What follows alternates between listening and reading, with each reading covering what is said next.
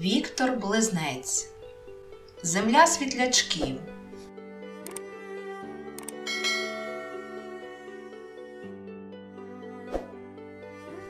Лісова річка винесла довбанки в озеро, а над озерними плесами ще дужче тягло димом і згариськом. Здалеку доносились вигуки, безладне перекрикування, чужі голоси. Вертутій нахмурився, звелів швидше гребти до сизового подвір'я. Йому здавалося, що саме там коїться щось погане. Густий дим справді вився над сизовим корчем, важку темну хмару несло над чистою водою. Тим часом сис плив собі на дні човна, як у сповитку. Та от усім єством, і слухом, і кінчиками вусів відчув, що близько його домівка, і що там, у найрідніших стінах, корчиться і сичить від вогню живе дерево й кора. Сис підхопився, став у човні на ноги і ще з примруженими очима, ніби через хатній поріг ступив з човна просто у воду. Добре, що вони підпливли до берега. В якомусь засліпленні мілиною сис побрів через воду на берег. За ним стрибнула Мармусія, і вони вдвох усе швидше й тривожніше затупотіли сходами до корча. Усе за так і спалахнуло перед очима. Світлячки, світлячки, музей, найбільша у світі колекція. Та диво, корч стояв цілий. Він тільки трохи пожух, зверху де-не-де взявся сизуватими латками згару. Стріла з чорним вогнем якогось заброди влучила в корч, і стара яворина вигоріла вся дотла до найглибшого пракоріння в піску. Та спальню й підземні галереї вогонь не дістав. Обкурені, потріскані при вході, вони залишилися все-таки цілі. Де вони взялись на нашу голову? Думав про волохатих страховиськ чублик. Ми так добре жили собі над нашими озерами. Дядько Хвороща садив на городі свої дивацькі дині, дядько Сис вирощував світлячки, а мій дід збирався зробити такий млинок, щоб він крутився в повній тиші, без найменшого вітерця. І от вони вдерлись до нас, оці дикі, оці страшні потвори. Що їм треба тут? Мабуть, у тих печерних приблуд так заведено. Де сила вони обминають, де бачать, що подужають, туди всією ордою. Та хіба ми слабкіші за них?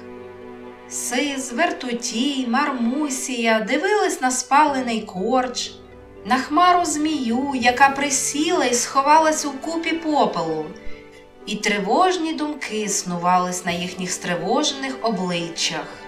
Мармусія перша отямилась і рішуче сказала До вас, вертутій, коли б там у вас не походили оці брудні лаписька.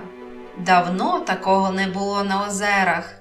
День стояв у розпалі, з неба смалило сонце, а дві кубки стовусів і тривусів.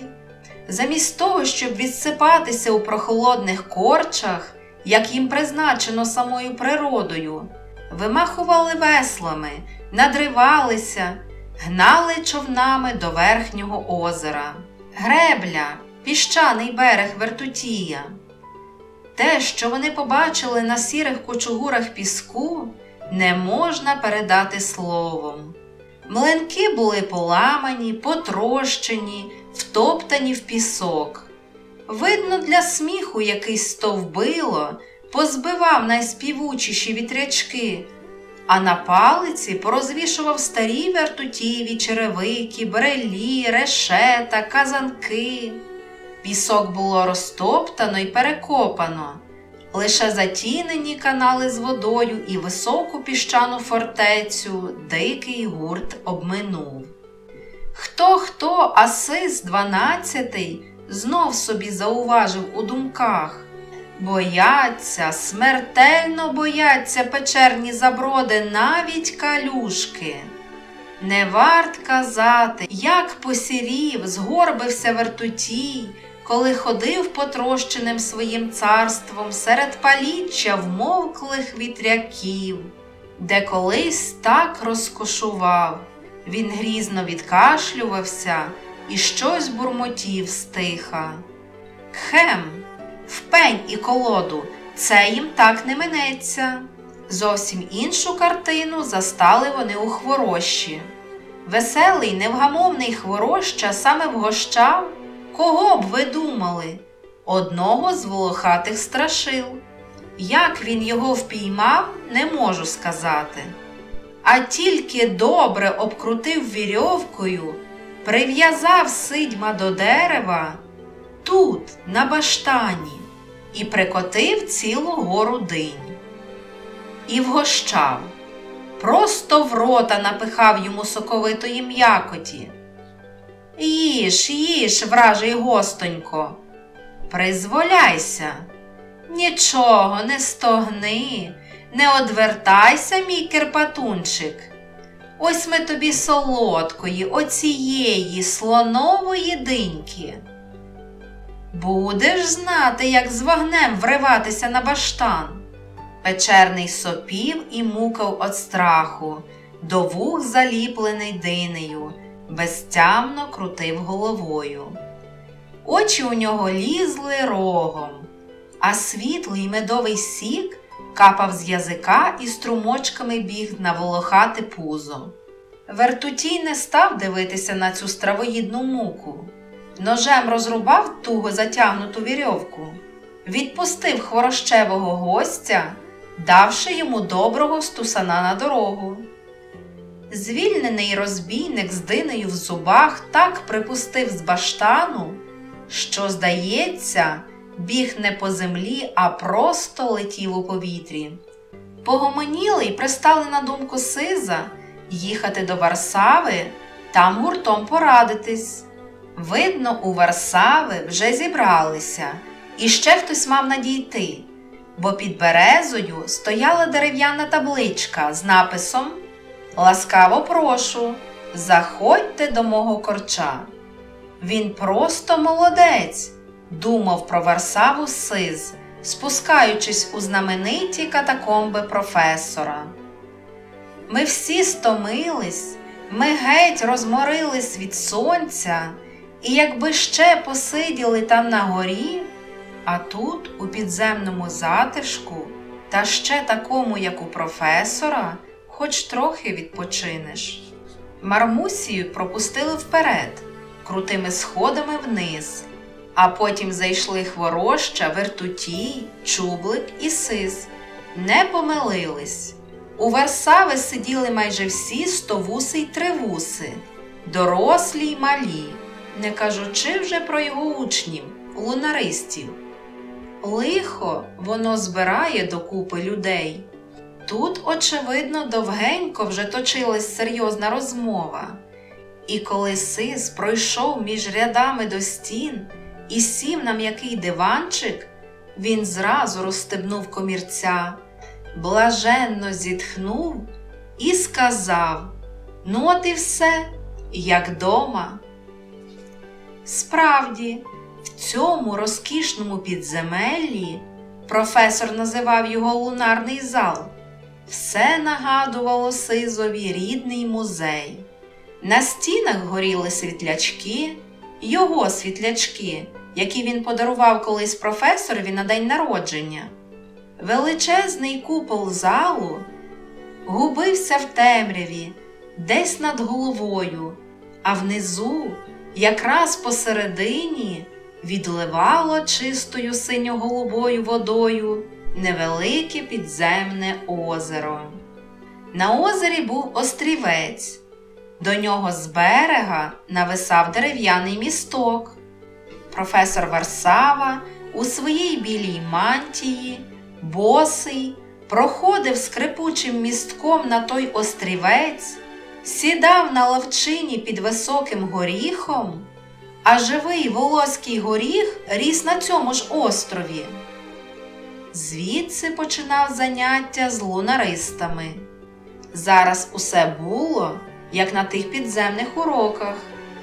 Трохи замкнутий таємничий Варсава сидів на своєму острівці, а ще він любив, щоб коло нього палало невелике лагідне вогнище. На стінах горіли лісові світлячки, в залі стояла тиша, було прохолодно й сутінно. Тільки сиділи перед професором не самі лунаристи, а все населення довгих озер. Велась тяжка рада.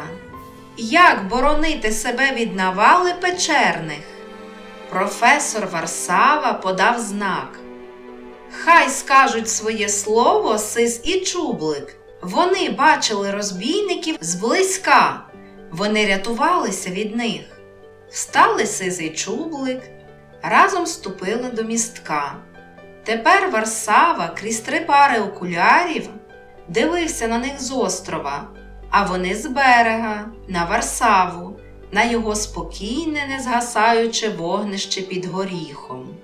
Сис і чублик почали з того, як вони королівським кроком йшли через ліс, і як над головою у них з громом і гулом блиснув чорний вогонь, і як заскрипіло усім болючим нутром загибле дерево. Тут професор, при слові чорний вогонь, зняв першу пару окулярів і для чогось протер їх. Далі йшла розповідь про те, як вони рятувалися під водою, і як ватага печерних бігла сушею понад берегом, а до річки боялися підступитися. Професор зняв другу пару окулярів і сказав Ага. Ну і нарешті Сис повідав про свої невельми веселі пригоди в підземних катакомбах і про те, як він лякав розбійників живим вогнем свого світлячка. Тут професор ляснув себе по коліну, зняв треті окуляри і голосно вимовив Ага, я так і думав. Професор швидко встав, напнув білу мантію і тихим, але врочистим голосом звернувся до лісового народу, до всіх стовусів і тривусів, які в глибокій мовчанці сиділи перед ним по той бік озера. Чому так ведеться в лісі? Чому так буває на зелених лугах? почав казати Варсава. Гляньте видющим оком. Кульбаба народжує сто пушинок, в кожній голівці по сто пушинок, і посилає їх великими хмарами за вітром. Біла тополя народжує тисячі пушинок, у кожній пучці тисяча тисяч пушинок, і посилає їх ще більшою хмарою за вітром. А настає весна, і на лузі з білої пухової заметілі народжується тільки одна кульбаба і тільки одна або дві-три тополинки. Чому так густо плодить восени, надміру перебавлено й густо, і чому весною сходить так мало, розумно мало, щоб кожне стебло вільно овівалося вітром? Чому так буває в лузі? Чому так ведеться в лісі? Гляньте видющим оком. Варсава дмухнув на білу голівку кульбаби, пух злетів над ним густою хмаркою і маленькими парашутиками понісся, погойдався над його острівцем. І тут мовчазні стовуси й тривуси побачили. Розлітаючись, пух завертав до вогнища, ніби його тягнуло туди силою і вкручувало в гарячі язики полум'я. А вся хмарка полинула, погойдалася далі до озера, і встелила білими пушинками воду, де їх тут же виловлювала якась дрібна підземна риба. І лише зовсім небагато парашутиків, мабуть, із найважчими зернятами не полетіли далеко, а сіли тут же на острівці, щоб зійти весною, якщо буде їм вогко й тепло, новими ясно-жовтими квітами. Про що нам промовляє правічна мати Кульбаба? Звернувся до мовчазного товариства Варсава. Вона промовляє до нас все, що виплоджується зайве, все надмірне в лісі й на зеленому лузі, гине або в глибокій воді він показав на озеро, або на суші він показав на втоптану стежку, або у чистому вогнищі. Мудро. вигукнув сис. Мудро ви сказали вчителю. Я зрозумів вас, вчителю. І от що придумав кручу, кручу для ворогів і облогу живого вогню. Після вечірнього дзвону хай усі приходять до озера. Всі, всі збираємось гуртом, усім лісовим народом.